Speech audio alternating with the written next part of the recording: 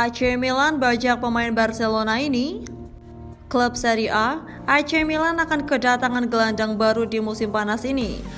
Rossoneri dilaporkan akan merekrut Miralem Pjanic. Di musim panas ini, Milan kehilangan salah satu pilar lini tengah mereka. Rossoneri harus merelakan kepergian Frank Kessie ke Barcelona. Kepergian Kessie meninggalkan lubang besar di lini tengah Milan. Alhasil, Milan sedang berburu gelandang baru di musim panas ini. Calcio Mercato mengklaim bahwa Milan saat ini sedang menjalin komunikasi dengan Barcelona. Mereka ingin merekrut gelandang Barcelona, Miralem Pjanic.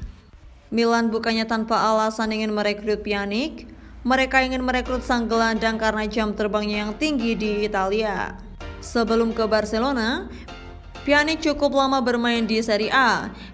Ia membela AS Roma dan Juventus, di mana bersama kedua klub itu ia tampil dengan sangat apik.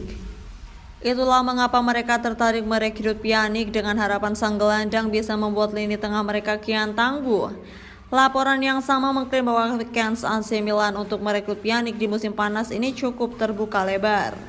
Ini disebabkan sang gelandang tidak masuk dalam rencana Safi di musim depan, sehingga ia dipersilakan cabut di musim panas ini. Itulah mengapa Milan saat ini sedang berdiskusi dengan Barcelona untuk mendapatkan jasa Pjanic. AC Milan sendiri dilaporkan tidak perlu keluar uang terlalu banyak untuk merekrut Pjanic di musim panas ini. Gelandang timnas Bosnia itu dilaporkan bisa ditebus dengan kisaran 20 juta euro saja.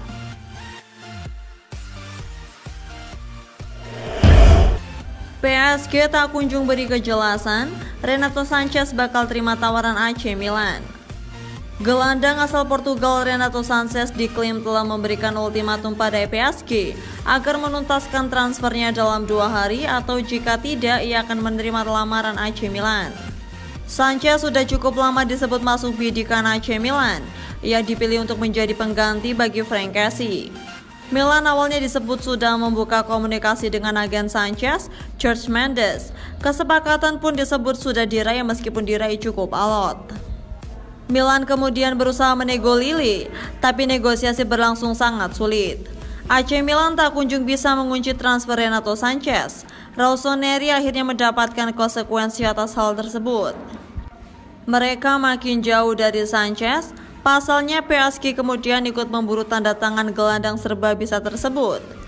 Milan mundur dan mencari target lainnya, sebab mereka mustahil bisa bersaing secara finansial lawan PSG.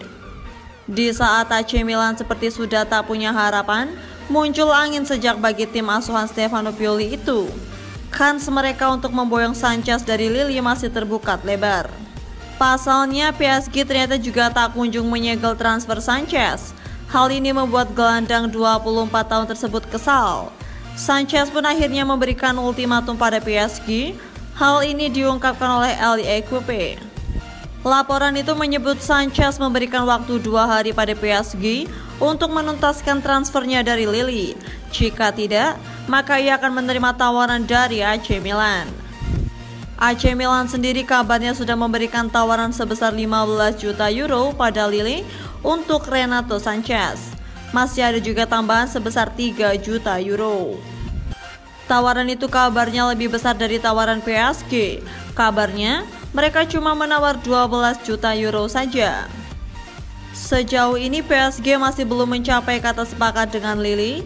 Bisa jadi mereka mungkin tak kunjung mencapai kata sepakat soal transfer Sanchez karena masih harus membereskan masa depan Georginio Wijnaldum. AC Milan kudu waspada, Barcelona incar Sandro Tonali. Seperti kata pelatih Bayern Munchen Julian Nagelsmann, aktivitas Barcelona di bursa transfer memang gila. Bagaimana tidak? Barcelona dilaporkan kini mencoba mendekati gelandang potensial AC Milan Sandro Tonali. Situasi finansial memang krisis, tapi aktivitas di bursa transfer tetap harus narsis. Barcelona nyatanya sukses mendatangkan penyerang tajam milik Bayern Munchen, Robert Lewandowski. Barcelona juga mengalahkan Arsenal dalam perburuan tanda tangan Rapinha. Baik itu Lewandowski dan Rapinha didatangkan dengan biaya transfer yang tidak sedikit. Barcelona juga tengah memperhitungkan kemungkinan mengangkut Tonali dari AC Milan. Menurut laporan yang sama, Barcelona berkaca dari keberhasilan mereka mendatangkan Frank Casey, padahal sang pemain bisa saja memperpanjang kontraknya di Milan.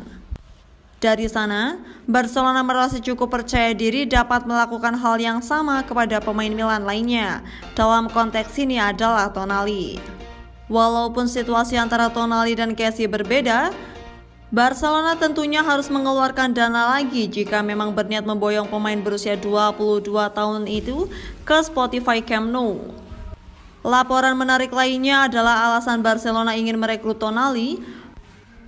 Blaugrana dilaporkan mempersiapkan pengganti apabila Frankie de Jong jadi minggat pada musim panas ini. Seperti yang diketahui, Manchester United sangat ingin mendatangkan De Jong musim panas ini. Kesepakatan harga antara Barcelona dan MU juga sudah tercapai.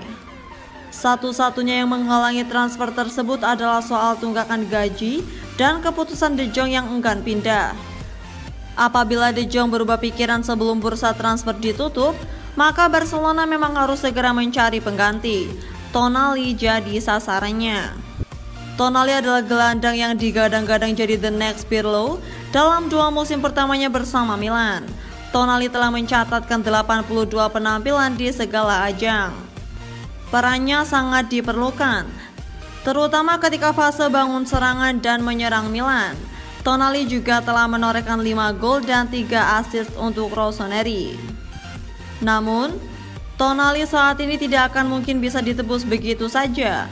Kontraknya masih tersisa 4 tahun atau sampai 2026. Menurut laporan yang sama, Kesempatan Barcelona untuk memboyong Tonali di musim panas ini nyaris tidak mungkin.